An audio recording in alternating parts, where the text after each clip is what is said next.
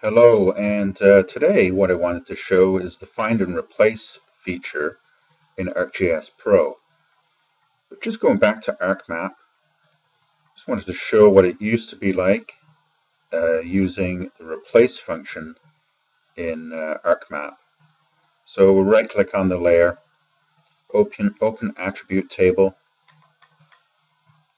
locate the field that you want to work with, in this case dog designation field. And you right click on the field open up field calculator and what you can do is for this particular uh, field you can use under the string as the type you can use the replace. This is the VB script or for the Python script you would use the replace function, the dot replace. And inside of there, what you have to do is you have to uh, type in uh, the word that you want to search for, and then the word that you want to replace. You want to you have to use commas, you have to use question uh, quotation marks, and you have to make sure you don't screw it up, basically.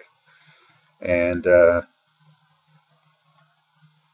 let's flip back to our ArcGIS Pro and we'll do this a similar thing open up the attribute table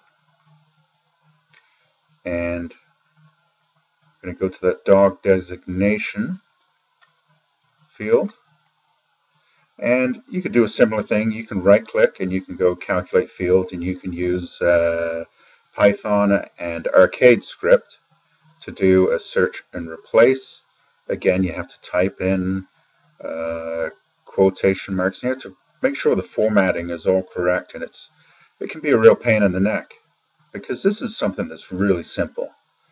This should be really simple, and it is now. Because over here at the top right hand corner, click on that tool, the three lines, we have uh, find and replace. And the find and replace opens up on the left hand side.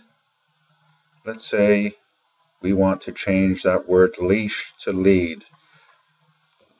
So you just type in the leash and we want to replace it with the word lead.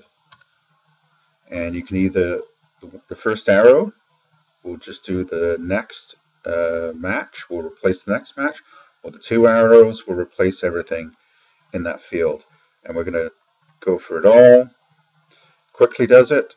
Everything's changed from leash to lead and we'll just go to edit and then save to finish up to make sure you've got everything saved. And that is a very useful tool. It's simple and uh, that's the way it should be. Thank you.